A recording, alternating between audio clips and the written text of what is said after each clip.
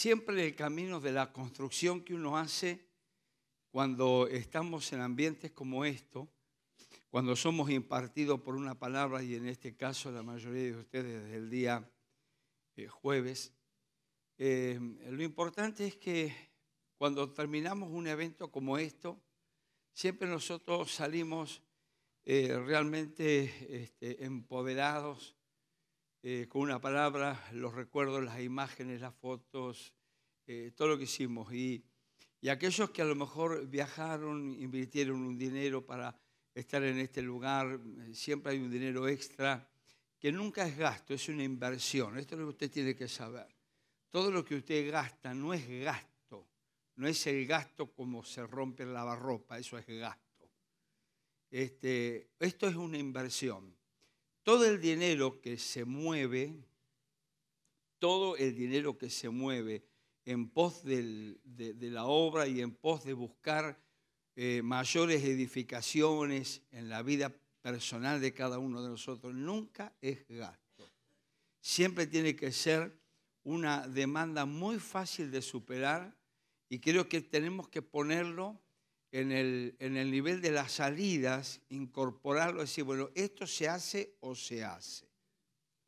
Porque yo he visto este mal sobre la tierra, como dijo Salomón, de que mucha gente se cuida de muchas cosas pero cuando aparecen las malas noticias, cuando aparecen las enfermedades, cuando aparecen las tragedias, el tiempo que usted nunca tuvo lo tiene. Y el dinero que nunca tuvo aparece. Entonces a veces yo me he dado cuenta de que a veces el diablo, eh, cuando, él quiere moverse para complicarnos la vida, nosotros arrancamos tiempo. Nunca hay tiempo, pero cuando aparece algo raro, que es sorprendente, que es dramático, que es difícil. Aparece el tiempo, aparece el dinero. Todo el mundo tiene, no, tengo mucho trabajo, pero usted hizo una pausa y tuvo que asistir, tuvo que ir, tuvo que invertir. Eso sí que es gasto. Eso sí que es gasto. Todo dinero que se invierte nunca es dinero de gasto, siempre es una inversión. Tiene que saberlo a esto.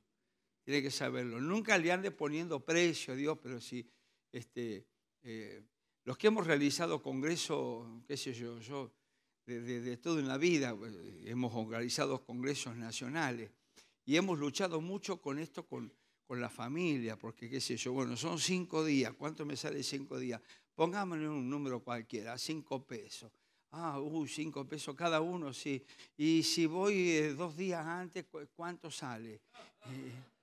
este, y así, pero, pero pero si voy a invitar al evento, tenés que cobrarme 2,50, ¿por qué me va a cobrar 3?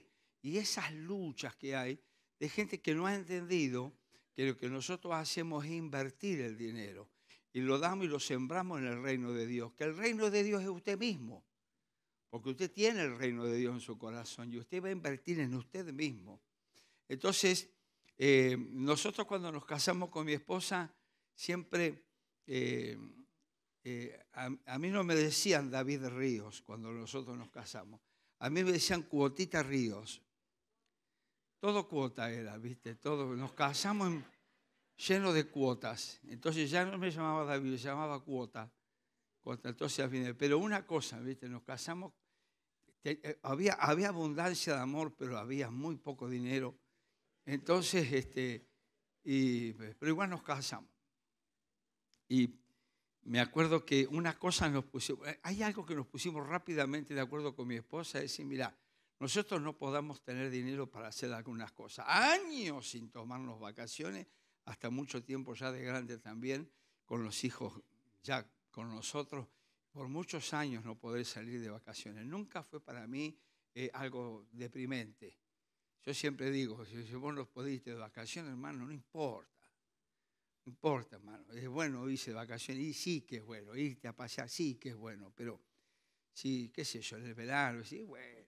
Seguramente tenés un patio en tu casa, ponete el short, tirate un balde de agua encima. Y ya está, y la frescura viene igual.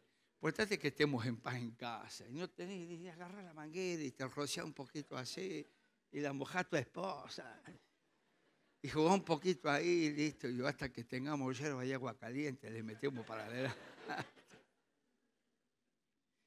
Pero una cosa nos pusimos de acuerdo con mi esposa, nunca vamos a faltar a los congresos, lugares que se hacían eventos donde íbamos a, aquellos campamentos, siempre, nunca había dinero para, para muchas cosas, no había dinero, pero qué sé yo, para comprarnos una carpa y asistir con, ya con los chicos a, un campamento que hacía nuestra benemérita y siempre bien recordada Asamblea de Dios, cuando hacían los eventos allá eh, al campo abierto, así, ¿no es cierto? Y había que llevarse carpa, y, compramos una carpa y nos, metíamos todos ahí adentro, rogándole a Luquitas y a, Julián, por favor, no toquen la carpa, porque encima se le ocurría llover.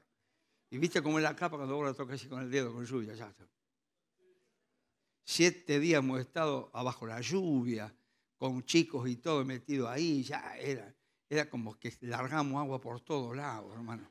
Ninguno se nos enfermó, ninguno padeció de, nada, que los huesos, que te acostamos. Ya al último te acostaba y parece que te acostaba dentro de un... La carpa parecía la pelo pincho, la carpa, porque está todo lleno de agua, había mucha humedad, los colchones húmedos.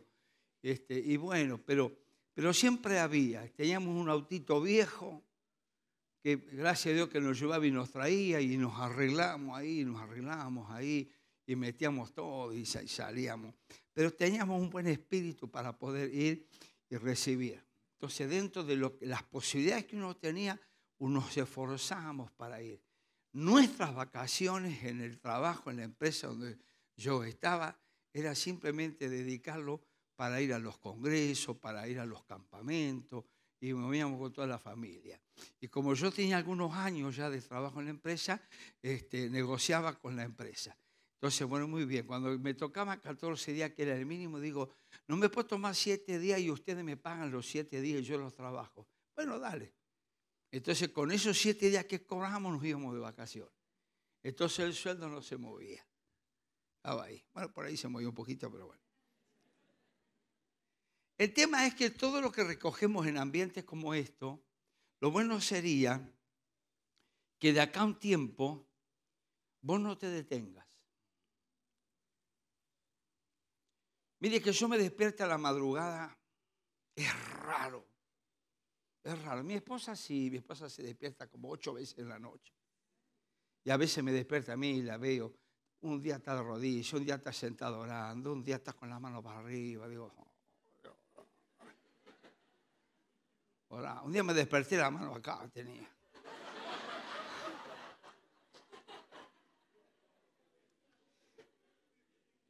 Y esa hora. No, yo este tipo de noche no ora nada. No duermo. La Biblia dice que a su amado Dios le dará el sueño y yo.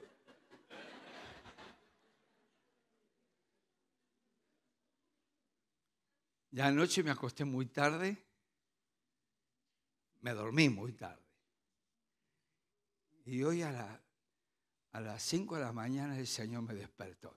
Que, que si el Señor me despertó a las 5 de la mañana, algo pasa. Y Dios me despertó con una palabra, porque me dormí pensando en algo. Y Dios me despertó a las 5 de la mañana con una palabra. Y yo digo, ¿y sabe cuál es la palabra que yo quiero compartir con ustedes? Que no debemos detenernos en la vida. Porque lo bueno de todo esto, si acá usted un mes, de acá dos meses, tres meses, ese mes, usted, yo, no lo voy a, yo no me voy a enterar, pero su gente, su familia, sus líderes, sus líderes se van a enterar que usted está medio estancadito, que se detuvo porque le pasó alguna situación.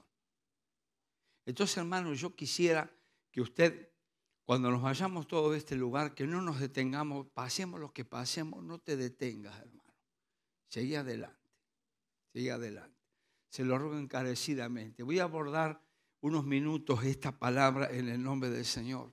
Porque a veces cuando nosotros vemos el camino que tenemos por delante, lo que tenemos que enfrentar o lo que debemos recorrer, suele darnos algunas impresiones negativas a la vista humana, a nuestra forma de pensar, que en nuestro entender quizás en alguna oportunidad lleguemos a pensar como la vemos difícil a la situación, y allí es donde nosotros decimos, no sé si voy a poder lograr soportar esta situación.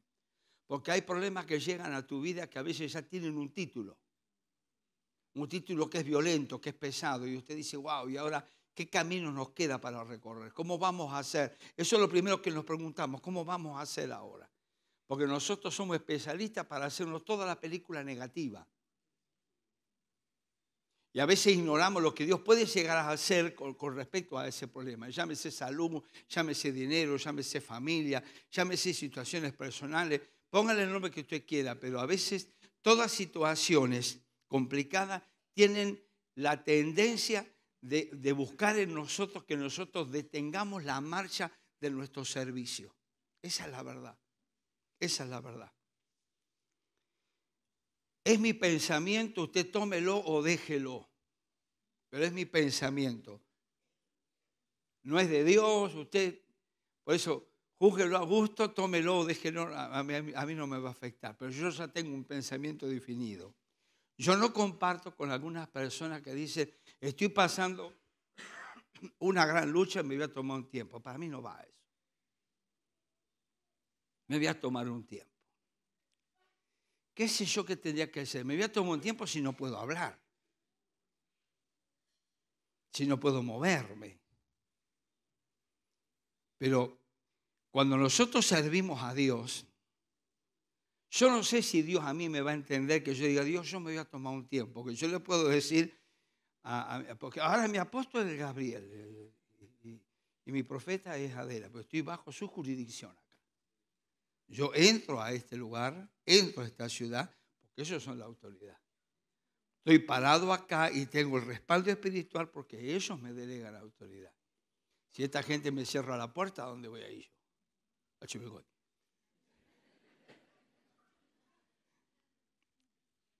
Pero yo no soy de los que mañana vengo y digo, mire, apóstol Gabriel, me, voy a tomar unos días porque la situación mía está complicada. Mira, hasta poder estar complicado con tu esposa, con tus hijos. Te puede pasar lo peor de lo peor con tu propia esposa o esposo. entiéndame cuando digo lo peor. Pero no es motivo para que nosotros dejemos, hagamos el paso al costado. Porque lo que tenemos de Dios es de Dios. Sabemos nosotros separar las cosas en la vida. Yo creo que sí nos puede afectar. Usted no me, una mala noticia en mi vida hoy, mañana quizás me tome el día de mañana para evaluar y pensar, pero al otro día ya estamos de pie nuevamente y ver cómo resolvemos la situación. Esa es la vida del cristiano, pero esa es mi óptica. Usted tómelo, déjelo, no hay problema y en todo caso lo que sus apóstoles y pastores le enseñen, eso es perfecto. Pero cuando no logramos ver el plan perfecto de Dios en nuestra vida, es decir, que no se nos revela el por qué motivo. Siempre digo una palabra que me acompaña en toda mi vida de hace algunos años. Siempre tenemos que hacer una lectura espiritual del cómo vamos caminando y del por qué suceden algunas cosas. No hay que hacer una lectura personal, analítica, humana. Tenemos que hacer una lectura espiritual del por qué pasan algunas cosas. Y a veces el por qué usted no lo va a tener y no lo va a registrar en su espíritu. Entonces, ¿qué hace usted? Esperamos en Dios porque seguramente Dios se va a manifestar de alguna forma en esta situación. Esa es la esperanza y la confianza que tenemos los que creemos en el Señor. Que podamos demostrarle al diablo y a toda la gente que nos está observando que no aman al Señor y que nos ven también, porque somos una vidriera, ¿Cómo nos comportamos cuando vienen las adversidades? ¿Cómo te ven tus amigos en la congregación, tu grupo, la, iglesia en la que sos parte? ¿Cómo te ve a vos? ¿Cómo te ve la gente cuando aparecen las pruebas en la vida? Entonces, como decíamos anoche, todos estos días fuimos edificados por la palabra en forma preciosa, maravillosa, y anoche nos cantamos todos, nos saltamos todos, bueno, yo no salté, pero algunos saltan. Entonces, nos saltamos todos, resulta que después de acá el diablo te presentó y listo, es como que no sirvió para nada. No, hermano, hay que revalorizar lo que tenemos y hay que darle crédito a lo que hemos recibido de parte de Dios. Dios ha enviado una situación o Dios ha permitido una situación sobre tu vida. Bueno, muy bien, vamos a replantearlo con el Señor y no solo, y no nuestra humanidad y no lo que dice el pariente o, los pensamientos humanos.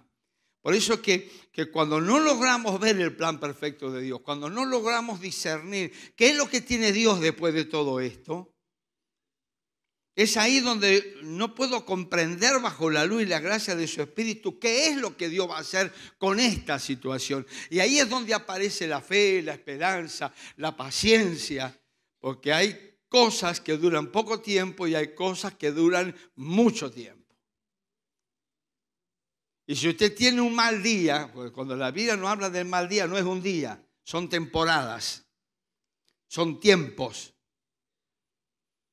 Cuando llega el mal día, usted no sabe ese mal día cuánto puede durar. Y usted no se puede tomar vacaciones espirituales porque está pasando. No, no, hay que, hay que replantearlo y hay que decir, muy bien, Dios me da la fuerza para que yo pueda continuar adelante. El coro que cantamos en el inicio me encantó porque decía, aquel que nos llamó para ver lo que Él va a hacer, ¿no? Así más o menos, ¿no?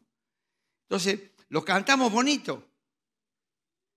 Pero el coro decía, porque me llamó mucho la atención, aquel que nos llamó para ver lo que Él va a hacer. ¿Dice así?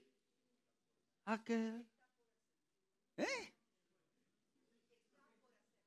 Lo que está por hacer, mejor. Luego lo corrijo. Pasa que se me borró la letra y yo me quedé.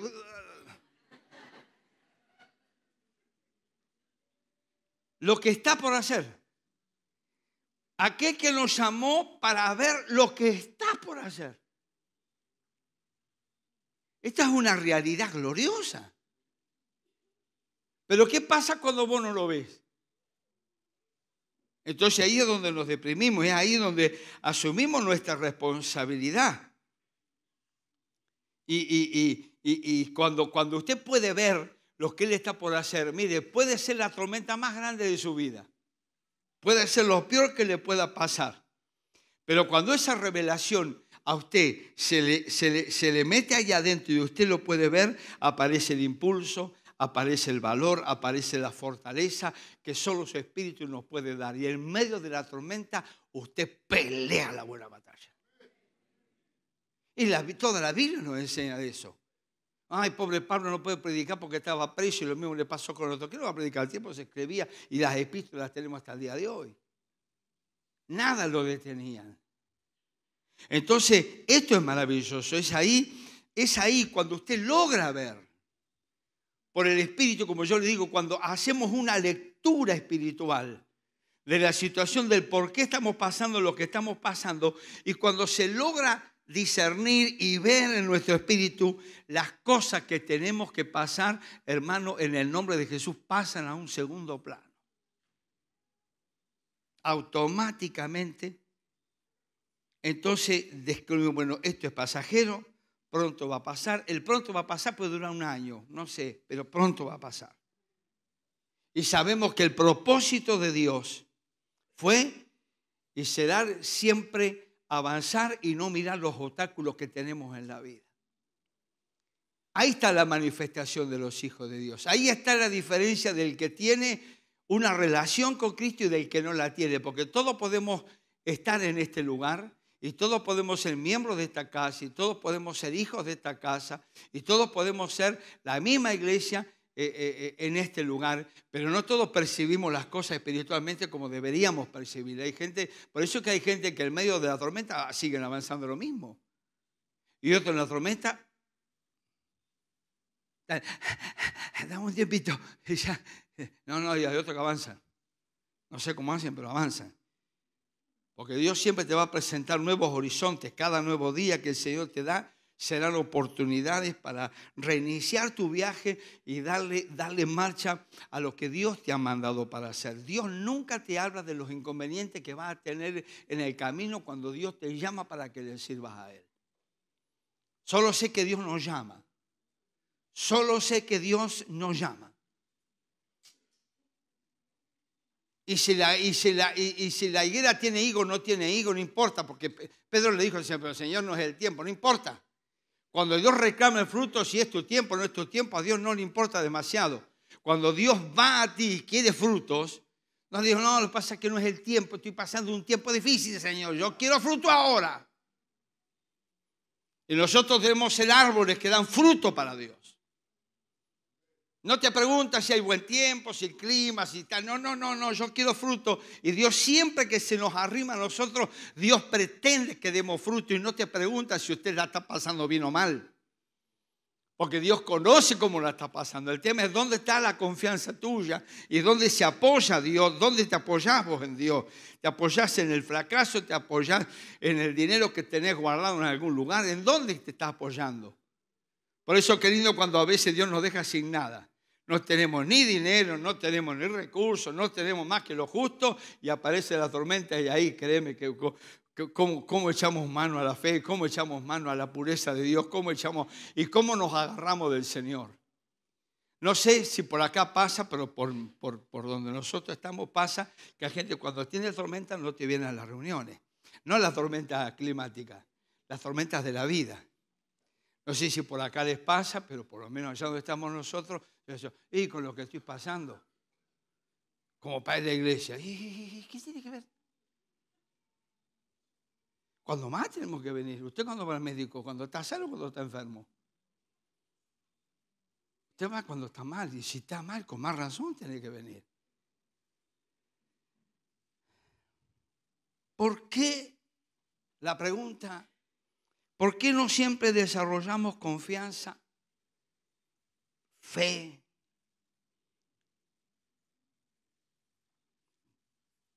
Y es porque no logramos ver lo que Dios va a hacer. Y así es cuando todo se nos pone denso, cuando se nos pone difícil, cuando nos llenamos de temores. Y lamentablemente se activa la oración desesperada a Dios. Usted sabe que hay oraciones y oraciones. Están las oraciones SOS, porfi Dios. Y esta oración cuando usted lo tiene todo, gracias Señor, gracias. Estamos bien. Está en oración calmada, pero está en oración desesperada. La oración desesperada son aquellos que no pueden ver lo que Dios va a hacer. Porque tu oración no debería cambiar nunca, cambia el motivo, pero tu clima espiritual, tu estado espiritual siempre tiene que ser el mismo. No, no nos agarra la desesperación y, oraciones que muchas veces Dios, creo yo, que se, creo yo, ¿eh? que Dios se toma el derecho de responderte o no responder. Y usted lo sabrá porque más de una vez le ha pedido cosas a Dios y Dios no te las concedió. Cuando Dios no te concede es porque te escuchó, no es que no te escuchó. Te escuchó y te dijo, no. No. Y Dios no me escuchó, así que te escuchó. Pero te dijo que no. Por eso no te lo concedió. Porque estás rando, hermano. Estás mal. Conocemos la historia de Pablo. Ya me rogaste tres veces por este tema, Víctor, no me embormes más con este tema. Yo se lo paso en versión criolla. Dios hablando en argento, argentinazo, dice, basta, no me diga más nada. Y pero Señor, es como un mensajero del diablo que me está bofeteando. Vos tenés mi gracia. Olvídate de eso, vos tenés mi gracia. ¿Para qué te di la gracia? Así que no me pidas más esto. Y a veces nosotros nos, nos, estacionamos ahí hasta que Dios no me lo dé y hasta que Dios no me lo dé y se te pasa la vida, hermano. Y, y estamos esperando. Abra su Biblia porque tenemos Biblia también. Éxodo capítulo 14.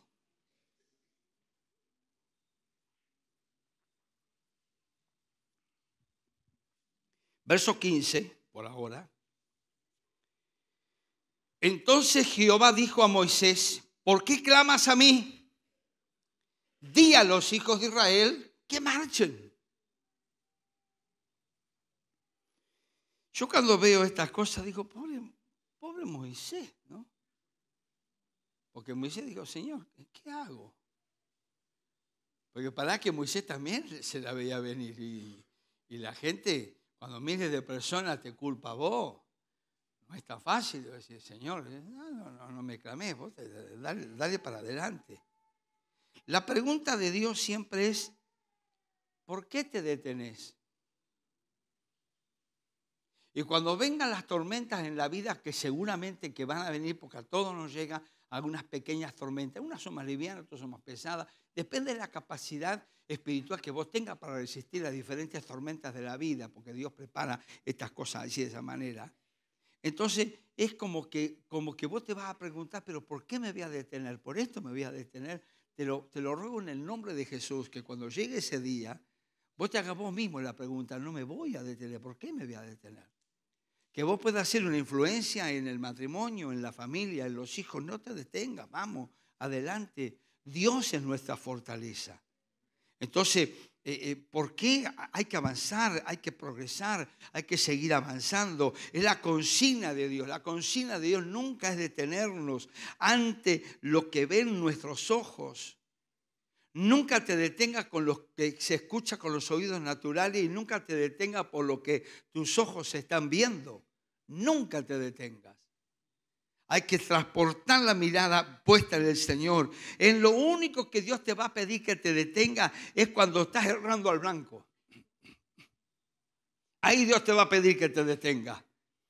Que te vuelvas a Él cuando comenzaste un camino equivocado que iniciaste sin su aprobación. Ahí hay que volverse. Ahí hay que detenerse. Hermanos, nosotros acá nos encontramos con los hebreos, el mar por delante,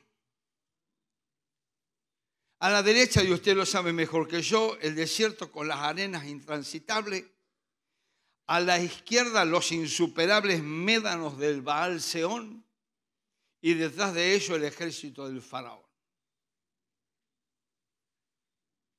Y era como que tenía lógica decir de Dios, ¿qué hacemos? Humanamente tenía lógica. Y humanamente tiene lógica que a veces vos tengas la tendencia de tenerte y decir, bueno, ¿y ahora qué, qué vamos a hacer? No, hasta que Dios nos lo resuelva. Y a veces la resolución de Dios está en que vos sigas avanzando.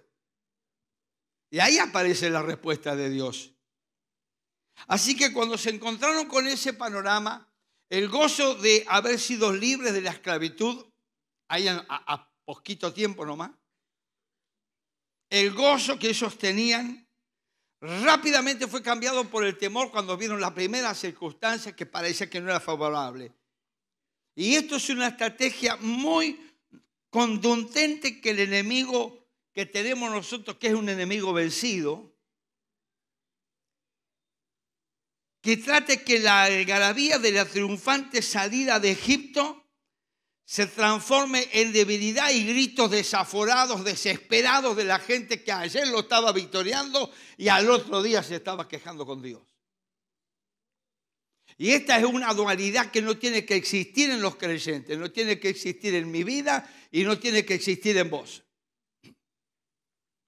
Hay que salir de la dualidad que un día estamos levantando las manos y tocando a los ángeles y al otro día estamos acariciando los demonios allá abajo. Hay que salir de esa, vida.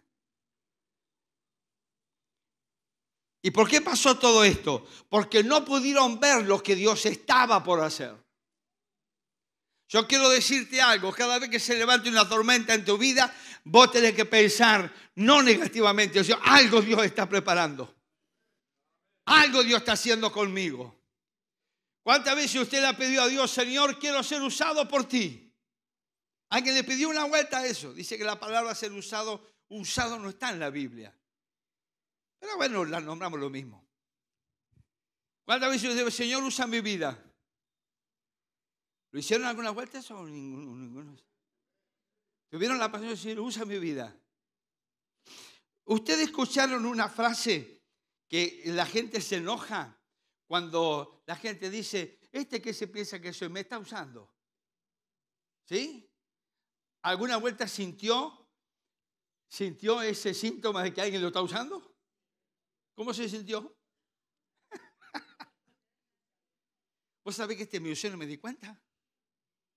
Bueno, e, eso, eso es lo que quiere hacer Dios con vos. Usarte. Dejémonos usar.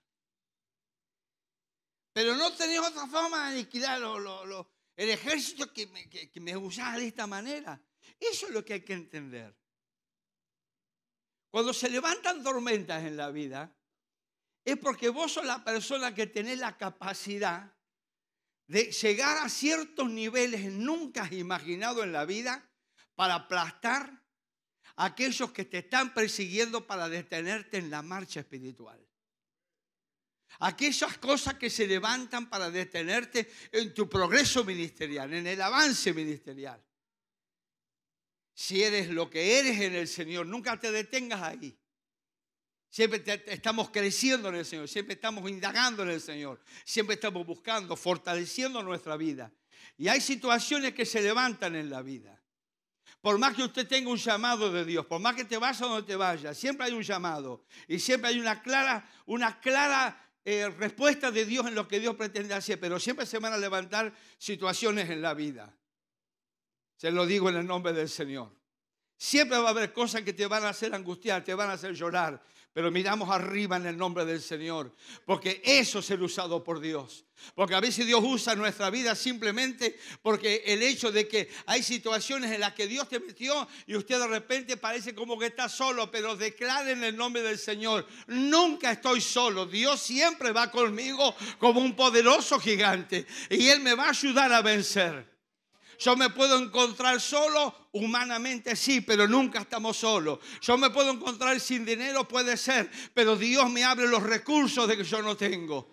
Dios tiene ideas que yo no tengo. Yo no las tengo, pero Dios las tiene.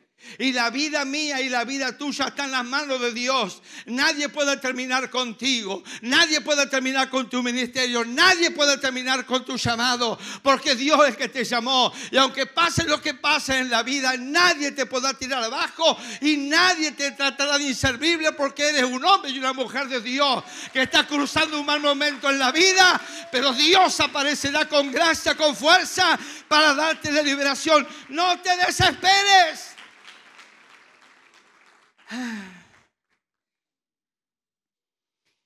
Ellos estaban ignorando que el endurecimiento del faraón era con la finalidad de destruirlo completamente. Entonces hay crisis que se levantan en la vida y Dios te va a usar a vos para terminar completamente con esa situación. Y vos no, lo mal que puede hacer es decir, justo a mí, Señor, no puede haber usado el vino anterior que yo. Lo hemos dicho. No le hemos dicho nunca al Señor algunas cosas que a veces tenemos que decírsela a Él. También en el coro, porque el coro inicial para mí fue un, disparador. Un disparador. Parte del coro, no me pregunte cante el coro porque no sé. Pero vi que le decía, heme aquí, envíame a mí. Dice así, ¿no? Bueno, olvídese la entonación. Y eso que son mi congregación, en otros años fui el músico principal de la congregación. No había otro, era el único que estaba.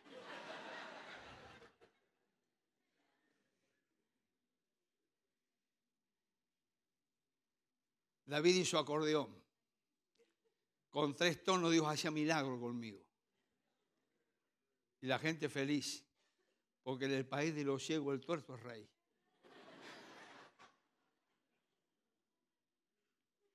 Feliz con la viejita y yo. ¿Qué va a hacer? Era lo que había y Dios se valió de lo que había. Y cuando aparecen los inconvenientes a la iglesia o a vos, nos pasa muchas veces lo que les pasó a los hebreos. Se olvidaron de la liberación milagrosa por medio de las plagas y todo fue cuando vieron el problema. Eso hay que cambiarlo, amados hermanos. Dios, Dios, Dios, no te trajo acá diciendo que no, vos nunca más vas a ver. No, no, no, no, no. Jesús lo dijo bien claro. En el mundo van a tener aflicciones, chicos. Eh, bueno, ya está. El que avisa no traiciona. Ya te lo dijo, ya está. O sea, van a tener aflicción, pero confíen. Porque yo vencí, pero esa parte no la tomo muy en cuenta. Que vamos a no, Señor, la aflicción, líbrame, oh Dios, líbrame, oh Dios. Esa palabra, líbrame, oh Dios. Pero Dios te va a librar usándote a vos. Eso es lo que tenemos que incorporar. Entonces, y, no solamente se turbaron, porque yo, escucha lo que te digo, una cosa es turbarse y, queda ahí la turbación. Y, es como que, como decimos nosotros, y andamos medio complicado. Viste que a veces usted conoce alguna situación de algún hermano y entre un amigo íntimo, entre los amigos, dice, ¿cómo anda fulano? está medio complicado. Uy, pobre, a estar hablando por él.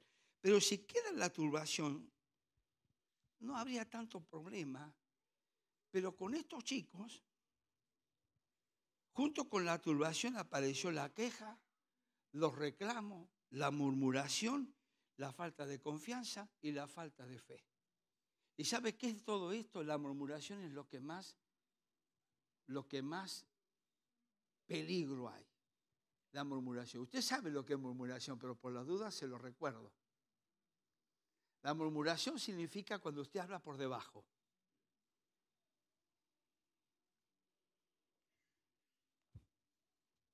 Cuando usted dice cosas a alguien que no se entere los demás. ¿Te enteraste que es? Eso es murmurar. Viste que el apóstol Lara, viste que el apóstol Gorjón, viste que el apóstol Río,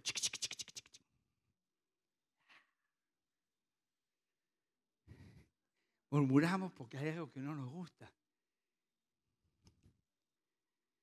Esta congregación, y ahí está. Y, eso, y eso es un pecado muy grande. Entonces, toda la alegría, ¿por qué será que cuando aparecen situaciones adversas nos olvidamos del gozo, de la algarabía, de la liberación, de lo que prometimos a Dios, de lo que damos? Y por supuesto que vidas así, olvídate que van a ofrendar de corazón y olvídate hasta no sé si diezman. Porque están enojados. Y un tipo enojado que te va a poner acá. ¿Sabe que yo conozco? No, no le voy a decir eso porque es muy fuerte. ¿Sabe que yo conozco gente que ofrenda 10 pesos? ¿Acá también?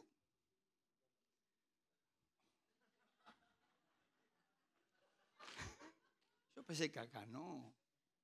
10 pesos. ¿Cuántos saben que usted va al supermercado y mil pesos no es nada? ¿Cuántos saben esto? Vamos, seamos honestos. ¿Va al supermercado usted a comprar carne y todas las cosas para la semana con mil? Y por cada mil acá se pone el billete más fuerte del mundo. O sea que Dios hace un milagro acá. Y afuera no lo hace. Bueno, ya está, dejémoslo así nomás. Pero miren lo que dijeron eso en Éxodo 14, verso 11 y 12, por favor. Pero mira la locura que dijeron. Porque cuando vos estás mal, hablas locura. Todos hablamos locura cuando estamos mal. No había sepulcros en Egipto que nos han sacado para que muramos en el desierto. Se lo que Dios le dijo. Ustedes van a una tierra prometida, chicos. Vamos. La tierra que fluye leche y miel, ya les esperan. Pero el texto sigue diciendo, ¿por has hecho así con nosotros? Fíjate que dice, ¿para qué nos sacaste de Egipto. Fueron ellos los que clamaron a Dios que los sacara de allí. Y Dios escuchó el clamor de ellos. 430 años, una generación que no había conocido nada de lo anterior simplemente porque se la contaron, pero sin embargo clamaron al Señor. Permítame sacar la humanidad mía y dejar de lado del hombre espiritual. ¿Querés a Egipto? Andate a Egipto. ¿Te va mejor allá? Ándate. Va a ver cómo allá vas a querer volver de vuelta para acá. No, yo, yo, yo, yo hermano, hermano, yo quiero que usted sepa esto. Los apóstoles del Señor, si no hubieran conocido al Señor, nunca le hubieran doblado el lomo de los palos que le dieron. Pero por haber sido testigo de ese poder del Evangelio, le daban con todo. Y pues tiene que saberlo a eso.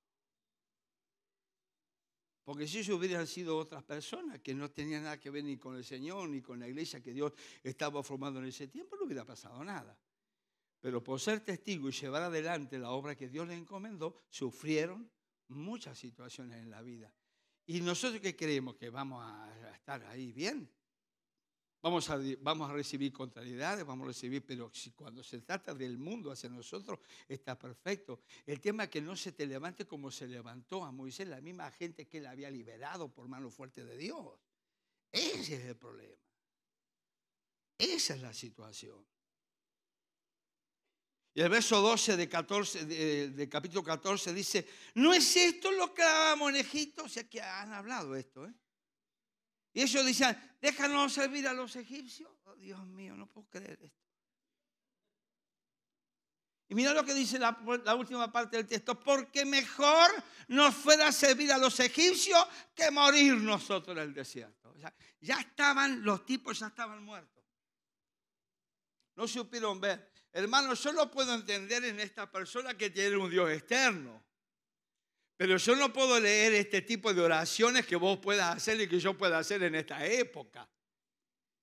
Oh Señor, llévame contigo, mejor allá. No, no, no, no. Oh Señor, mi pobre alma afligida. No, no, no, no, no. Deja, mira hermano, si usted va a, va a usar la oración para llorar y despotricar contra Dios, la fe, el pastor, el apóstol y la iglesia, no haga nada. Pero cuando usted se pone a orar, tome convicción de la oración. Señor, tú sabes que estoy pasando esta situación, pero acá estamos, Señor. Dame la estrategia, dame la seguridad, dame el discernimiento para saber cómo encaro esta situación. Algunos dicen que está bien preguntarle a Dios el por qué. Yo soy de los que creo que no hay que preguntarle a Dios por qué. ¿Quién soy yo para Dios preguntarle? ¿Acaso, acaso cómo es que dice, la vasija le pregunta al alfarero por qué lo hizo así? ¿Cómo yo le voy a preguntar a Dios por qué? ¿Por qué a ver Dios a mí me está pasando? El único nabo en la ciudad me pasa a mí nomás. ¿Por qué me pasa esto a mí, Señor? Tú sabes que soy un hombre que siempre te he amado desde mi juventud, toda la vida. ¿Por qué me tiene que pasar esto? No estoy preparado, calificado. No, Señor. Cada vez que aparece la tormenta, usted tiene que preguntar al Señor, bien, Señor. Mire, yo te la voy a hacer en versión criollo y de esta manera no se va a escuchar. Pero es cuando usted hace así, por ejemplo, muy bien, Señor apareció la prueba. Muy bien, me arremango y decime cómo encaro esto en el nombre del Señor. ¿Cómo puedo hacer? Yo me arremango, salgo de mi comodidad, salgo de mi confort, porque por causa de tu llamado, por causa de la obra, por causa de lo que representa el Evangelio que has depositado en mí, se me ha levantado esta tormenta, pero esta tormenta es pasajera. No hay tormenta que dure en toda una vida. Así que no importa el por qué. Dime cómo lo puedo atravesar con esto, pero no me voy a detener en la vida. No me voy a detener en mi ministerio y no me voy a tener en nada de lo que la iglesia me ha encomendado a mí de tu parte, Señor. Porque toda la tarea que usted haga en la iglesia no es porque al pastor se le ocurrió, no es porque al apóstol se le ocurrió, es precisamente porque a Dios se le ocurrió que usted haga lo que haga. Y Dios no está de acuerdo nunca que usted cuelgue los guantes antes de tiempo, salvo que la vida te abandone. Pero usted está para decir, Señor, muy bien, tenemos una situación. Esto es como el tiempo que estoy dispuesto a pelear. ¿Viste? Vení, vení, vení, vení, vení, vení. No, no, no, ahí estamos haciendo así. No, Señor, ahí estamos diciendo, Padre, dame la estrategia, dame, acá vamos a estar, tranquilo. Siempre que han llevado a nuestros hogares, han llegado eh, situaciones, noticias muy feas, yo siempre tengo una palabra. Clamemos a Dios, que Dios tenga misericordia de nosotros, bajemos la cabeza y veamos en Dios cómo enfrentamos esta situación. Tranquilo, aquí nadie se ha muerto todavía. ¿Y si se muere?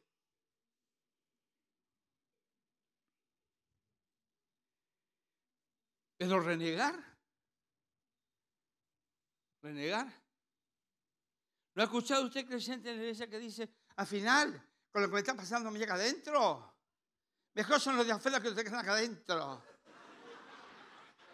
Yo tengo muchos amigos afuera en el mundo, jamás me hicieron lo que me hizo este, que ese y el otro. Ese va a ser siervo de Dios, ¿qué va a ser siervo de Dios ese? Capaz que acá no hay nadie de eso. Pero si que pone 10 mangos, capaz que esto también esté.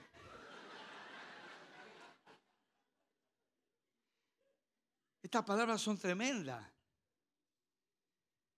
de aquellos a quienes el Señor libertó y todo, todo por la primera situación difícil que se le presentó en la vida. Todo pasó y no es por culpa de Dios, ni de Moisés, ni de nadie. Todo lo que pasó y sobrevino sobre ellos el temor y, y, la desesperación es precisamente porque tuvieron una postura equivocada. Y acá va mi aporte para ustedes, amada iglesia. A lo mejor usted está viendo una situación muy difícil y usted cree que eso es tremendo, pero ¿no será que usted tiene que cambiar la postura? ¿No será que usted tiene que, que mirarlo de otra forma? ¿O usted quiere que Dios haga como usted quiera? ¿No será que tenemos que revernos y decir, Señor, me vuelvo y digo, a ver, ¿cómo? Ayúdame, Señor. Pero póngale fe, hermano. Estamos en un camino de fe. Hay que cambiar posiciones, hay que cambiar formas de pensar. Siempre falta que a veces nos enojemos con alguien, porque eso es normal. No es tan normal. Yo me puedo enojar un poquito con alguien, pero el enojo me puede durar un día. Yo como pastor, yo me he enojado. Yo me he enojado. Mi esposa es testigo. Siempre hay algún creyentito que te hace enojar. Y, digo, y yo en mi enojo, Dios no me ha tomado en cuenta esto y le, he pedido perdón a Dios, ¿no? Pero en mi enojo, ahora yo voy a hablar con este. Yo hubo dos personas que eché de la iglesia en toda mi vida, pero los eché en serio, ¿eh? Ah, porque era. Es como invitarlo al diablo a la Santa Cena, ¿viste? No.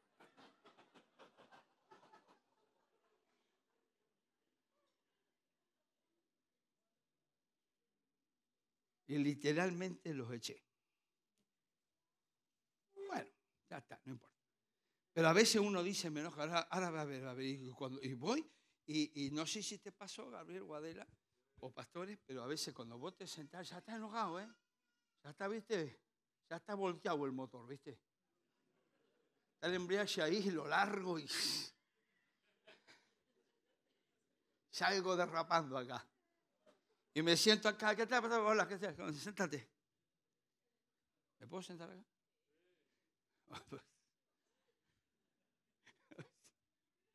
Entonces digo que, sí, háblame.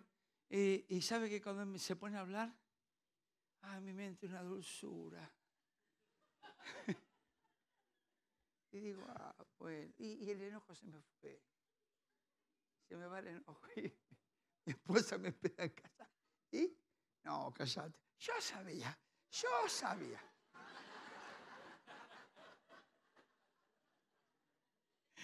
Y gracias a Dios que eso fue así. Vos puedes estar enojado, alguien puede estar enojado con alguien, pero te aconsejo que depongas tu, tu situación. Porque no es bueno que tengas enojo en la vida, no es bueno que tengas enojo. Hay situaciones que te pasaron y quiero que atrape esta palabra porque va para alguien seguramente. Hay situaciones que no te han gustado, lo que te han hecho no te ha gustado. No te ha dado, mucho menos te ha dado placer de lo que te pasó, lo que te hicieron, pero no mantenga el enojo abrigado en tu corazón, soltarlo en el nombre del Señor. Porque no podés saber por qué motivo Dios usó esa herramienta en lo que Dios estaba viendo, que el mañana tuyo iba a ser trágico si continuaba de esa manera.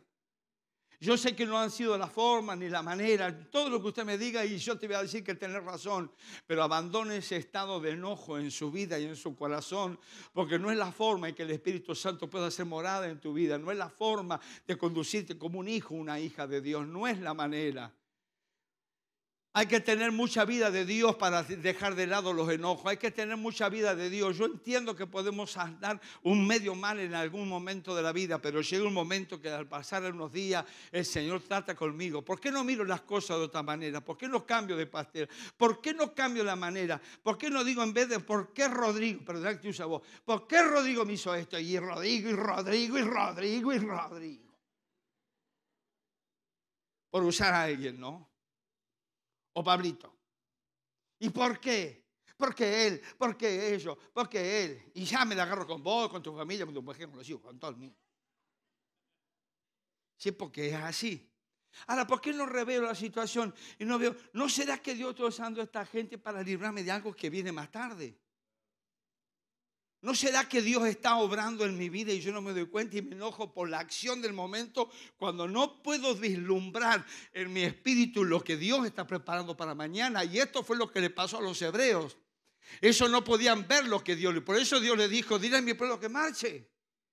Y pero tal y bueno, pero dice los sacerdotes que pongan el pie adelante. Carguen el arca y marchen. Y todo el pueblo, y yo, yo voy a hacer algo. No era haber no era, mejor arrancar por ahí el tema.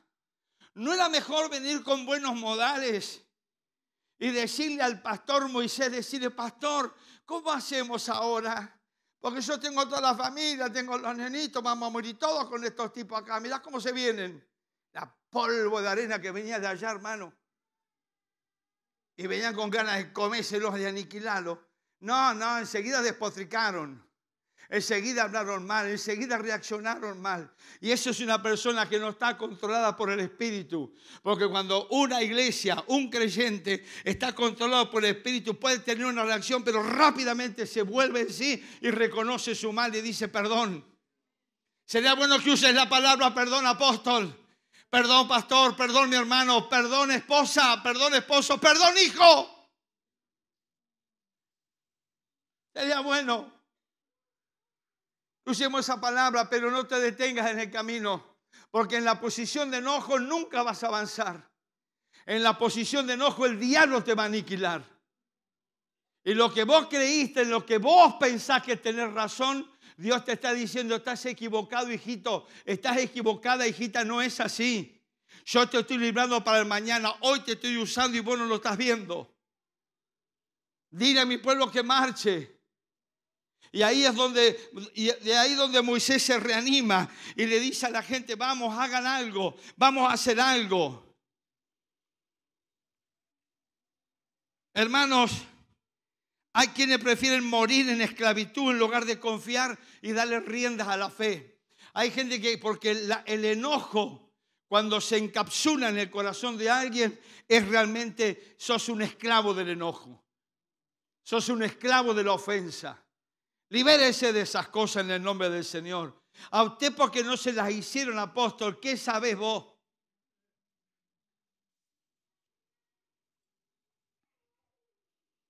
En la vida y en los años que tengo, nos han dicho de lo peor. Le han basureado a mi esposa. La han tratado de una prostituta estando sirviendo al Señor. La trataron de mujeres como que eh, eh, eh, se hacía compañía con los hombres y usted ya sabe la historia esa. Ah, pero lo vamos a aclarar, no aclaremos nada, dejámoslo, dejémoslo en las manos de Dios. Dejémoslo en las manos de Dios. Nadie miró cuánto servía, cuánto bueno, nadie miró nada, listo. La gente cuando despotrica, despotrica, cuando quiere murmurar, murmura y cuando quiere hablar mal, le habla mal. Y contamina. Porque todo el pueblo se contaminó acá. Acá no hubo nadie.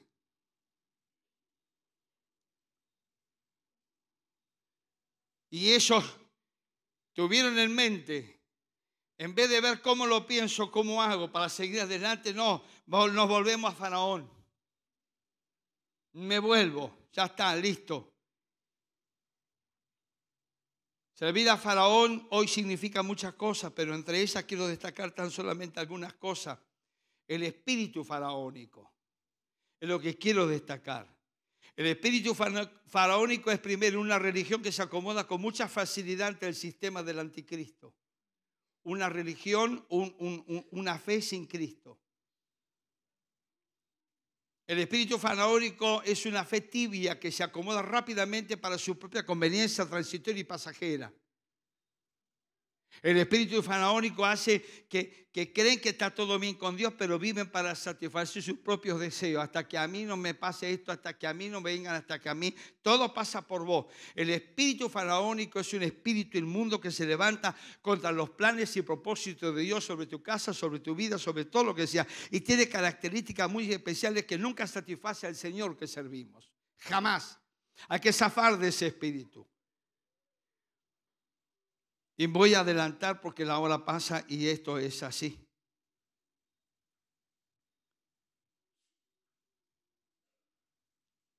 Espere que lo busque. Aguante.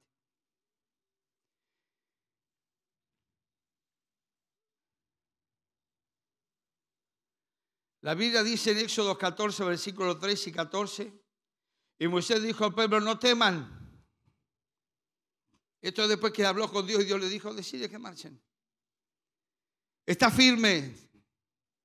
Y vean la salvación que Jehová ha dado hoy con nosotros. Porque los egipcios que hoy habéis visto nunca más para siempre lo van a ver. Jehová peleará por vosotros y nosotros estaremos tranquilos. Ah, bueno. Listo, muy bien. Hermano mío, a pesar de lo que estás viviendo, avanza en la vida. Avanza, avanza, avanza. Que no se nuble tu visión. En medio del temor, en medio de la queja, mantente firme en el nombre del Señor avanza en fe, avanza en la gracia, avanza en fe, avanza en fe. Fe es aquellas cosas que no están, pero en tu mente están. Eso es fe. Fe es aquello que vos estás viendo en el espíritu, pero no estás viendo físicamente. No lo estás viendo con los ojos. Tus ojos miran otra cosa, tus oídos escuchan otra cosa. Pero fe escucha el sonar de Dios los oídos de la fe escuchan lo que Dios está por hacer. Los ojos de la fe pueden ver lo que nadie naturalmente puede ver. Eso es avanzar en fe. Cuando nosotros soltamos una palabra de fe, como la mente a veces decimos, eh, en realidad, ¿sabe cuándo hay que soltar palabras en fe? Cuando nosotros lo podemos ver. Por eso que hay gente que ha soltado, no había soltado una palabra de fe y dice cualquier barbaridad, cosas que se le aparecen, pero la fe es certeza de lo que no se ve, pero yo lo puedo ver en mi espíritu. No lo ves allí, pero yo lo puedo ver en mi espíritu. Una cosa es tener un dicho, tener un, soltar una palabra, una palabra de fe, cuando la verdad es una palabra alocada, un gesto heroico, loco que alguien va a hacer. Y otra cosa es tener fe. Cuando usted suelte una palabra en fe, porque ya Dios te dibujó de antes lo que está por hacer. Nadie lo puede ver, pero, pero, pero, pero usted lo puede ver en su interior. Y cuando usted lo puede ver en su interior, hermano mío, a usted no hay nadie que lo detenga. ¿Sabe por qué mucha gente a mitad de camino, por más que tenga eventos, circunstancias, precioso mensaje de Dios que lo revolucionaron hablando en lengua, lo hicieron llorar, se cayeron ocho millones de veces, qué sé yo, si se cae te bendice y no te bendice, no importa, pero bueno, pongámosle todo lo que hay en la plana de las iglesias evangélicas que usted lo pasó y usted le resultó, pero resulta que cuando aparece la primera prueba todo eso no te sirve para nada, pero la fe está para ver las cosas que nadie puede ver. Y por eso nos largamos en fe, esto va a ser así y yo sigo esa palabra, por más que el sistema, el mundo, la familia, hasta tu cónyuge puede decirte lo contrario, pero cuando vos estás parado en una palabra de fe, ¿qué significa una palabra de fe? Una palabra de fe, vuelvo a repetirlo, es cuando vos lo podés ver acá adentro, cuando vos lo ves acá adentro, nadie te lo mostró, nadie te lo contó, Dios te lo mostró, Dios te lo diseñó, Dios te lo dio. Entonces usted suelte una palabra. ¿Sabe cuándo funciona una palabra de fe con una persona que está enferma? Cuando yo la puedo ver en mi interior que está sana. Pedro dijo, no, tengo plata ni oro, pero ya lo, había, ya lo había visto paralítico levantante. Ya lo había visto, eso es fe. Lo que tengo te doy. Y se levantó, no es que fue un gesto heroico y si la pego, la pego.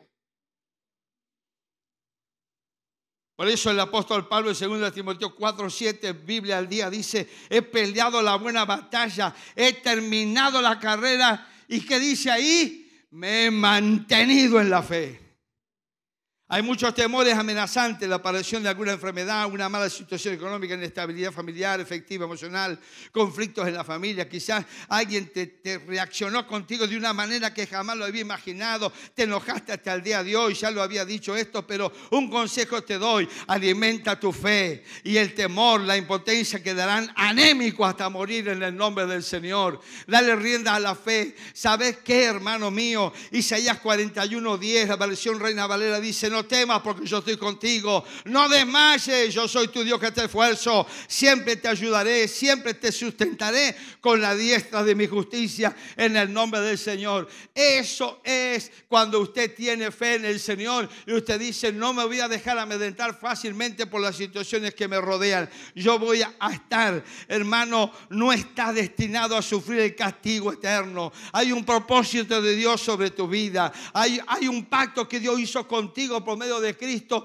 y Él es fiel a ese pacto. Mantente tú fiel con Él en el nombre del Señor. Primera Tesalonicenses 5.9 dice, pues Dios no nos destinó a sufrir el castigo, sino a recibir salvación por medio de nuestro Señor Jesucristo ¿Cuánto hace que, que formaste una familia o tenés deseo de hacerlo? Avanza, Avanza en el nombre del Señor. ¿Cuánto hace que pensaste que iba a hacer ciertas cosas favorables? Avanza en el nombre del Señor. No le diga a Dios lo que pasa, que pasó esto, aquello. Avanza en el nombre del Señor. ¿Cuánto tiempo hace que estás sirviendo al Señor y ha venido sobre tu vida en este tiempo un bajón, una merma, un descenso, un deseo de abandonar? No te lo permitas a Satanás. No se lo permitas a Satanás. Reanímate en el nombre del Señor y avanza. Y cuando lleguen las situaciones difíciles después de estos días, porque van a llegar porque van a llegar, no lo estoy profetizando, pero seguramente que te va a llegar algo en los próximos días. Usted ya está advertido, usted ya está advertido que tenemos que caminar hacia adelante, tenemos que avanzar rumbo a nuestro destino. No se pierda el tiempo diciendo, ay, por, no llore su situación, avanza en el nombre del Señor, muéstrame, Señor, ¿qué tengo que hacer? Tengo esto acá, tengo esto acá, tengo esto allá y atrás, estoy acorralado. Dios te dice por mi boca, nunca estás acorralado porque con Dios Siempre hay una salida. Con Dios nadie queda acorralado. Dios te va a abrir el cielo. Dios va a hacer un milagro para tu vida. Vamos, si va a aplaudir, apláudale con gozo, con gusto al Señor. Por eso Moisés le dijo, no tengan miedo. No tengan miedo. Cuando se levante la peor tormenta en tu vida, no tengas miedo. Y usted no me puede decir a mí, usted porque no sabe lo que pasó en la tormenta. Sí que lo sé, sí que lo sé. Usted pregúnteme, usted no sabe lo que es andar sin plata, dígamelo, sí que lo sé. Usted no sabe lo que es cuando tiene poca plata y tiene tres, cinco, cuatro para dar de comer y a veces no tiene. Sí que lo sé, sí que lo sé. Usted no sabe lo que es poner la cara cuando no pudo pagar una cuenta y tuvo que dar la cara porque no tenía. Sí que lo sé. Sí que lo sé, pero todo ha sido superado. Ya es un tiempo pasado. Hoy vivimos en la, en la, gloria de Dios. Hoy vivimos en algo porque hemos sido probados. Hemos sido fieles en lo justo. Hemos sido fieles en no tener nada. Y Dios te quiere probar a ti también. Avanza en la vida, avanza. No siempre vas a tener todas las cosas. Algunas veces algunas cosas te van a faltar pero avanza en el nombre del Señor. No es motivo para que vos te detengas, porque Dios te ha dado gracia, Dios te ha dado ministerio, Dios te ha dado talento. Eso tiene que fluir en la iglesia, no importa el tiempo que estés pasando. Vamos, póngase de pie en el nombre del Señor, póngase de pie.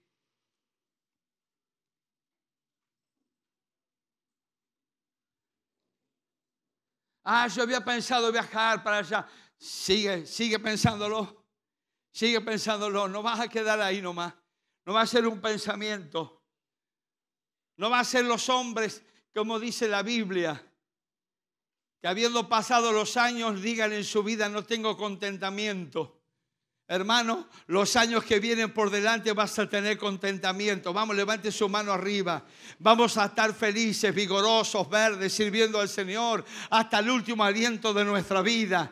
Aunque, aunque no te den algunas cosas en la vida, pero vos vas a servir a Dios. Yo me veo sirviendo a Dios, yo me veo ayudando a los pastores, yo me veo haciendo cosas que a lo mejor no me las puedo imaginar, pero vamos a morir con las botas puestas en el nombre del Señor, sirviendo a Dios hasta donde podamos. No importa si tenemos una afección. No importa, hermano, si vamos al médico después de los 60 años, algunas cuantas cosas te van a encontrar. No es motivo para dejar de servir al Señor. Vamos a ser obedientes, vamos a hacer lo que debemos hacer, pero vamos a servir a Dios también en el nombre del Señor. Escuchamos la voz de Dios y avanzamos por delante, porque la gracia, el ministerio que Dios te ha dado, no es un ministerio que se envejece en ti. Nosotros nos envejecemos, pero la gracia de Dios jamás se envejece en el nombre del Señor.